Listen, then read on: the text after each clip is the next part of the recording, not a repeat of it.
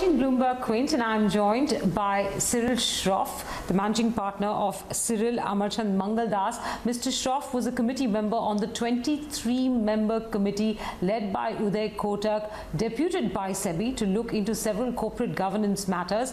They have published their report or recommendations to SEBI today and here to talk about some of those key recommendations and the rationale behind them is Mr. Shroff. Thank you very much for your time uh, and speaking to Bloomberg Quint.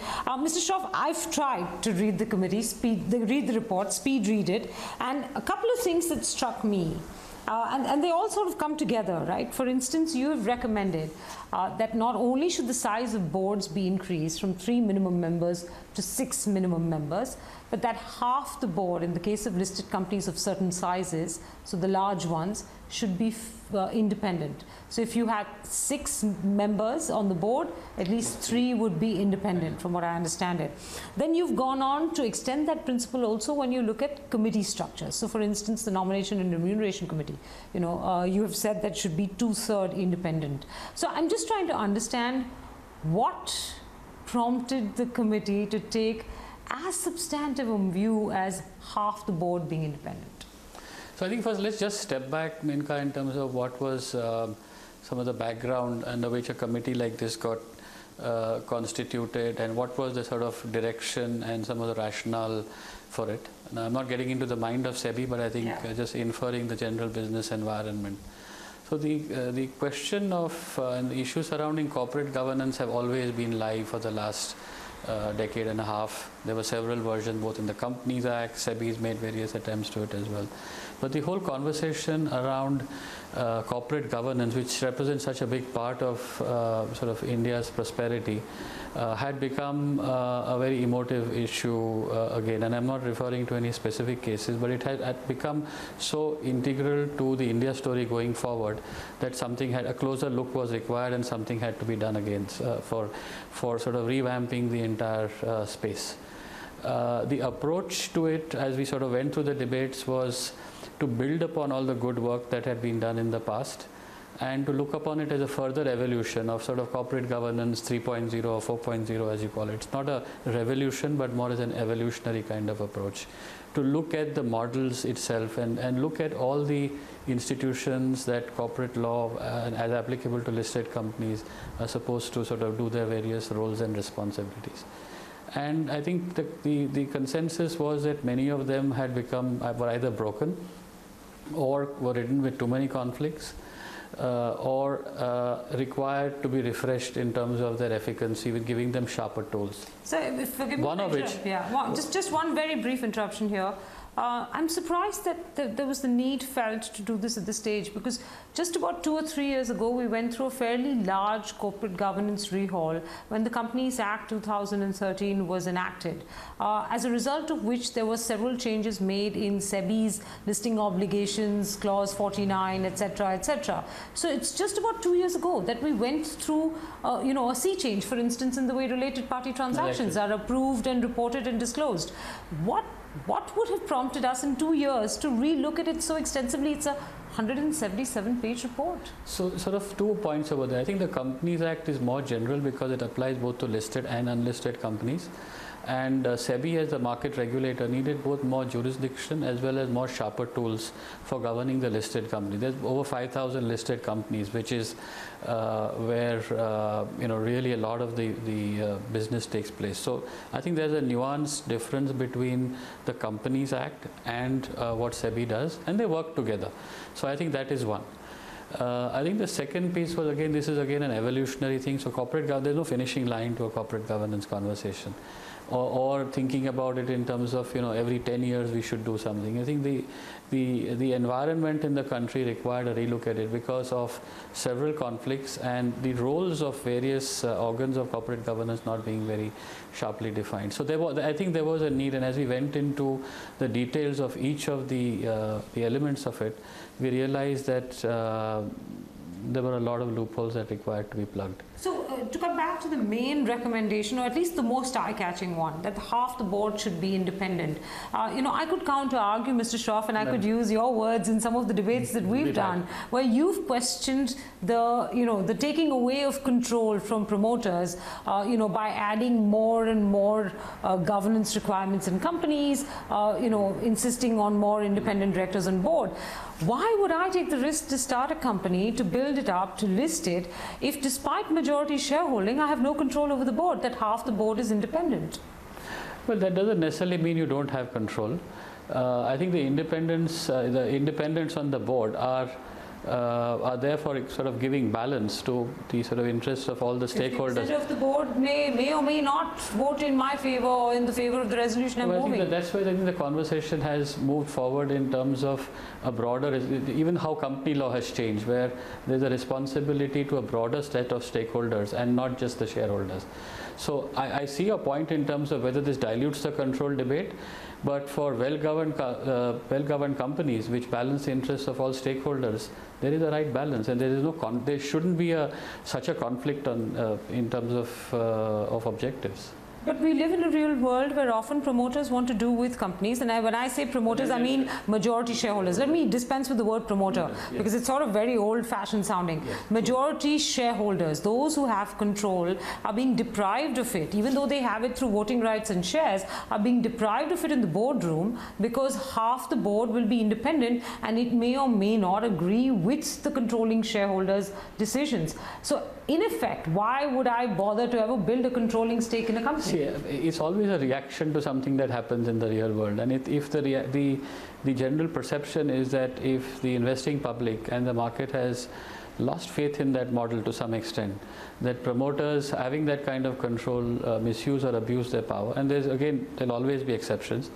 Uh, then that needs to be fixed, and this was the uh, one of the key tools that was used. In your experience, does this exist anywhere in the world, or will India become the first country in the world See, to a- mandate? uh, I mean, I think there's a lot happening in terms of the nature of the balance between equity and debt, Hmm. bankruptcy code, and all of that.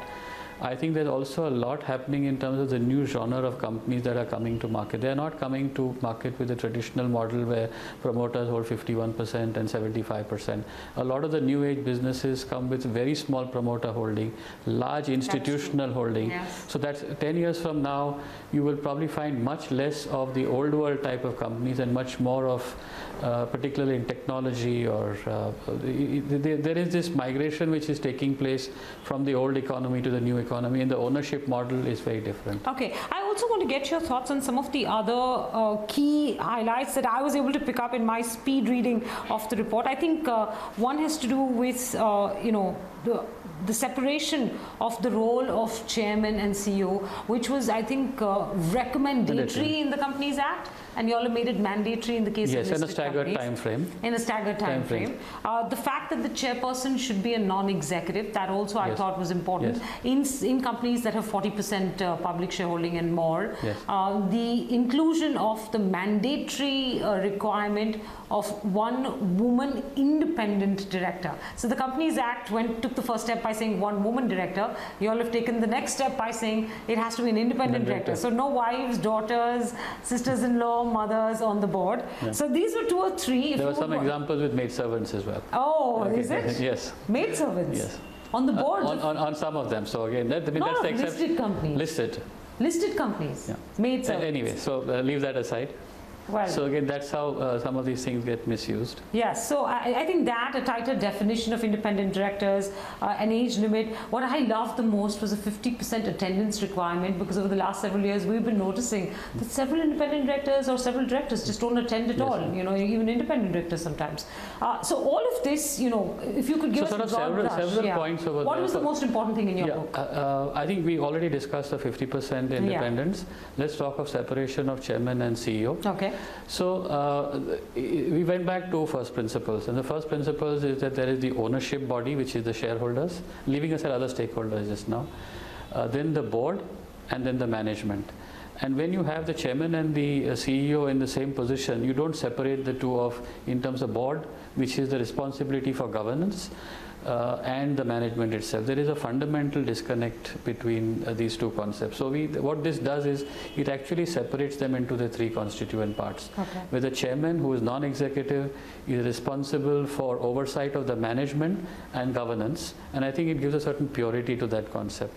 The management is to run the business and to, uh, to make profits. Uh, as, as well, the shareholders again really exercise in some sense ownership control uh, as an entire body over uh, both the organs. So I think it, it, it boils it down to its three constituent elements in a very purist sort of way. Okay. I think this is a big one. Okay. The third more noteworthy one comes in the chapter when you talk about promoters. Yes. Uh, and there, there is the detailed laying out of the sharing of information. Uh, by those who are considered to be Yes. continuous insiders or continuously in uh, possession of insider information.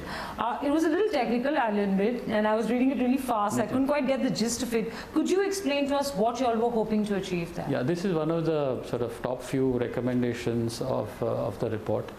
So let's see what happens today in, uh, uh, in corporate India. And again, it's not just about promoters, it could include multinationals uh, and several other kind of formats. So uh, information sharing today uh, happens sort of in the shadows. It happens in informal channels. Uh, there is a regulatory white space over here. So the traditional method of justifying it under the existing insider trading regulations uh, is that it happens for a legitimate purpose, Yes. uh, and that and that, that the controlling promoter or controlling shareholder has a legitimate purpose to receive this information. But it all it's all grey, and in fact, what happens is that very often the controlling shareholders have access to special information uh, on the verge of important transactions or price-sensitive events. There are good companies and there are bad companies, but very what happens in the latter variety very often is that this information leaks and then is the basis of a lot of market manipulation, and it is Right. rampant. Uh, what this does is that it reinforces the line around the fact that uh, informa- price-sensitive information which occurs in the boundaries of the company with insiders should not travel outside uh, the, the boundaries of the company. But if it has to do so because controlling shareholders and promoters require access to that information, this creates a green channel. What this does is that it requires people who are in, the, in that position to enter into a formal agreement with the company they need to meet the eligibility criteria for this. Either they're promoters or promoters of promoters, uh, or it, if they're 25% and like a private equity house. And if they require access to continuous information to guide the strategy of the company, then instead of saying no, you can't get it, this actually helps them because it creates a, a, a green channel which gives them peace of mind that there is now at least a formal. Uh, it's like legalizing uh, prohibition uh, in terms of, and it is, it's a very similar analogy. Uh, rather than uh, banning something altogether and having it done in the shadows, this creates a legal channel for access to information with safeguards. Obviously, it doesn't do away with the rest of the insider trading code. Uh, so, uh, trading on the basis of this information will still be dealt with this, and there's a separate But just committee. sharing the information, Sharing the information, if done within this framework, as you've pointed out, out will is, no is longer kosher be, because then it's sort of exempted from and the. it's not a violation of It's the not. So, so let's take examples of multinationals who have listed subsidiaries in India. They have constant access of information. There is an information asymmetry. The Right. normal public does not have it. And today it just happens just on the basis of informal reporting. What they will now need to do with this is to sign agreements under this green channel.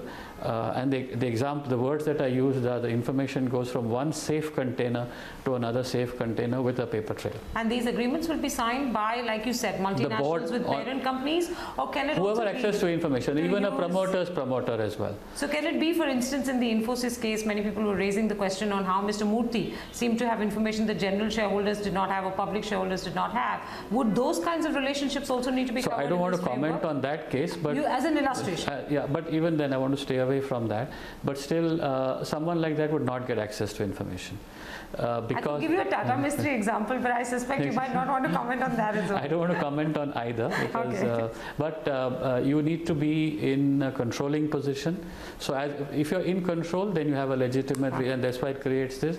Or you could be someone like a PE house who has a, a nominee on the board. Okay, that's a better illustration, yeah, not less yeah. controversial. Yeah, okay, fine. Fair enough. Um, okay, the But other it, it, it addresses the basic issue of information asymmetry in the markets. All right, fair enough. I, I, must confess, I would like to study it a little bit more, and I'm sure I'll have many more questions uh, right after that. But the, the, next thing I wanted to move to was uh, related party transactions, where you all have suggested that uh, though the SEBI requirements go one step beyond the Companies Act and say no related party can vote on a related party transaction, you have said make an exception there and allow for a related party to cast a negative vote. Yes. What was the purpose of that? So sometimes related parties, let's say include families which have different factions, and sometimes people within that group have different views. Okay. So you could have uh, either because of their dis- internal differences or whatever may be the reason, and that block sometimes is used in order to achieve a certain outcome. But if other than the sort of uninterested, sort of non-related party shareholders, if there's somebody in that group who also believes that there is an abuse that is taking place, they can vote against but not in favor. Okay, got it. So it gives more firepower. I can think of one more illustration. I know you will duck comment, but I think wasn't the recent Raymond case about two factions no of the comment, family? Yeah, yeah, yeah no, okay, no, comment, no, comment. Uh, more interestingly, what you have plugged through these recommendations is the fairly ugly practice of these sudden brand agreements that come about yeah. where a promoter or a promoter related entity uh, turns out to be the owner of the, the corporate brand and then is to be paid a royalty for it. I'll give you another illustration there. You will duck comment again. But the Jindal, uh, you know, JSW Group witnessed that a couple of years ago, and it became fairly controversial. And in this case, you have said that it will require minority of majority. Yes. Correct? Yeah. Yeah. So it is ultimately all about conflicts of interest. Okay. Um, so I and, and not using voting in your own favor, basically. Yeah. Uh, have I covered some of the key? Some of the I, key. I think so. I think the we, we discussed. Um, chairman and uh, yeah, we discussed chairman and the CEO, women director, 50% think, woman director, uh, 50% attendance, a tighter definition. I think there's also a, a, a, a, sort of a point which is important but sort of buried in a little bit of the details is about the spirit of independence. Okay. Uh, now, it's not about just the form of independence, namely ticking all these boxes and not having relationships which would compromise your independence, but also about the mental state. So, we had a big debate on can we really legislate for character? Can we really legislate for what goes on in people's minds? But, uh, and finally, I think the formulation that came out was to put the burden back on the conscience of the board and the independent director that there is nothing else that there, uh, a social friendship, for instance, uh, or a, a, a relationship which is you know, doesn't technically kind of meet this, but we know it's not independent. There have been cases where people have been neighbors for 30 years would not uh, fail the independence test, but by no stretch of imagination would be independent. So how have you prescribed against So that, that? there is a, the, the, the independent director has to say that he's not aware of any circumstance which would compromise his independence and the board has to accept that view. Board and including the independent directors. So this sort of puts the, it was very hard to legislate on this, but I think it at least uh, puts the spotlight on this and forces people to think about this question a bit more deeply. I mean, I've faced situations where people have said, you know, we've grown up together and, uh, you know, how can I be independent? Don't count, you know, I, I, would never do anything against this, but they would meet all the tests. So we sort of focusing a bit there as well. And then there is interlocking directorships that has been dealt with as well, where okay. people on each other's boards technically independent, but we all know why they're there. Okay. Uh, so my very final, quick, okay. very brief question is this. Um, you and I have often talked about how in India we tend to get very prescriptive of many things. Uh, because we are constantly trying to counter legislate against scams or controversies and situations like that. Um, in your recommendations, you all have made prescriptions or recommendations on updation of knowledge for independent directors or for directors, how non-executive directors should meet with managements at least once a year, matrix reporting structures, etc., etc., etc. Do you think your committee also has somewhere given in to the temptation of being prescriptive? So one what of the other committee members actually business? used a very nice phrase, which he said that uh, this committee had both a microscope as well as a telescope at the same time. So we had to do the microscope because uh, I think as people in, as you say, in the real world, we know uh, how people uh, sometimes find loopholes around the spirit and escape from the applicability. Uh, and we needed to have a telescope. For we looked ahead and see why would we want to be remembered? Why would this committee want to be remembered and how would it want to be remembered uh, this is not the last committee on corporate governance. I'm sure a few years from now there will be another one in some form or the other because you, you need to keep this continuous conversation. But at least did it move the needle and change the status quo at this point of time or not? So if it is implemented as recommended, I think it will move the needle. And do you really think that SEBI will implement 50% Uh, of SEBI the has board been being independent? SEBI has been amazingly supportive on this. Firstly, the very fact that You think corporate India will allow for that capture of So- control from the hands of the promoter, Mm-hmm. the controlling shareholder, into the hands of the independent directors? So we, we, we will know soon in a few months from Uh, now. I think your smile gives away more than I can say. No, I think this is going to be this is going to be uh, a big national conversation, and which was the idea. I think this will this will spark like this interview does. Uh, a lot of conversations in the coming weeks. Mr. Shroff, I appreciate you finding the time to talk to us today on Bloomberg Quint. Uh, with that, those were some of the key highlights of the report. As he says, I'm sure we'll debate this a lot more in the days to come.